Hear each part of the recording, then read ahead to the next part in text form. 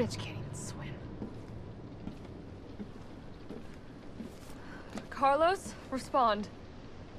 Yeah, what's up? We didn't make it. The train derailed. Derailed? Was anyone hurt? No, everybody's dead. Mikhail, everybody. Ah, shit. Nikolai left us to die. Wait? What